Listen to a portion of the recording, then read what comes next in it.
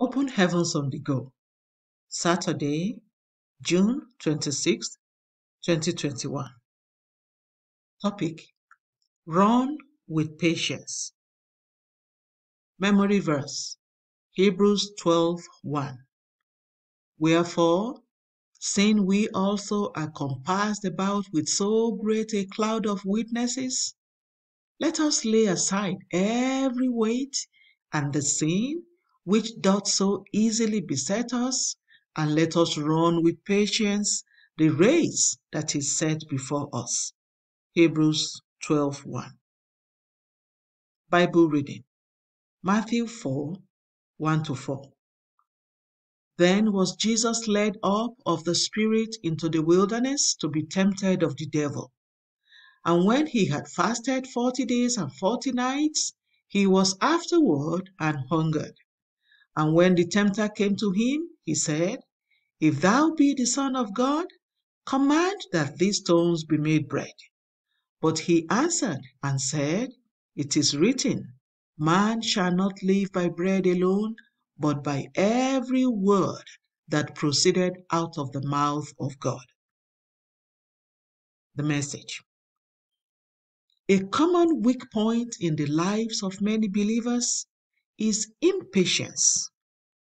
Unfortunately, the devil exploits this.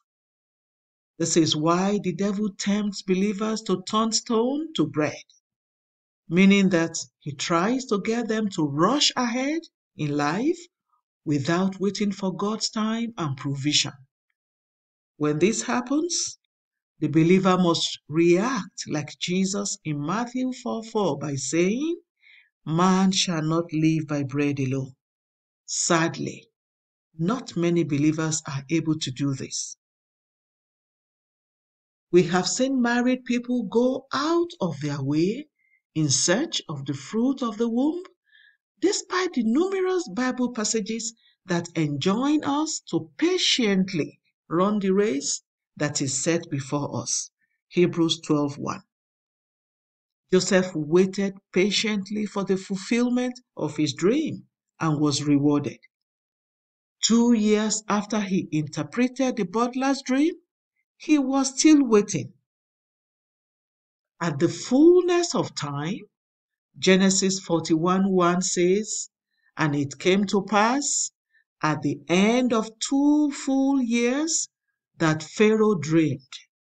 The scripture above speaks volumes, and our understanding of its depth will give us a long way to cure us of the spiritual disease of impatience.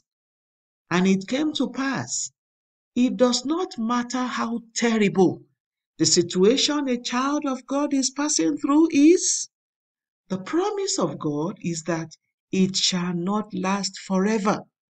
Rather, the breakthrough shall come to pass. Psalm 30, verse 5 confirms this. On this subject of patience, Jesus said in John 16, 20 and 22, Verily, verily, I say unto you, that ye shall weep and lament, but the world shall rejoice. And ye shall be sorrowful, but your joy shall be turned into joy. Yea, now have sorrow, but I will see you again, and your heart shall rejoice, and your joy no man taketh from you. Jesus knows what we will encounter in our walk with God. That was why he already prayed for us in John 17, 15, and 16. I pray not that thou shouldest take them out of the world, but that thou shouldest keep them from the evil. They are not of the world, even as I am not of the world. Beloved, you must keep on looking unto Jesus, who, though tempted, endured everything for our sake, as he was victorious, so shall you also be in the mighty name of Jesus. We are more than conquerors. Romans 8 37. Prayer point Lord, please see me through the challenges of life Help me arrive safely at the bosom of the Lord Jesus on the last day. Bible reading in one year Psalms 36 to 39. Hymn for today.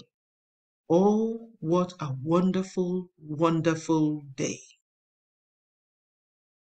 The Open Heavens is written by Pastor E. A. Adeboye, the General Overseer of the Redeemed Christian Church of God. God bless you.